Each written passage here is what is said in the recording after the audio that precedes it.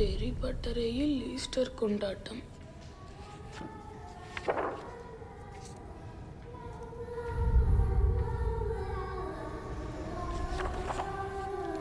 பட்டறை வெடி விபத்தில் எண்பத்தெட்டு குழந்தைகள் பலி.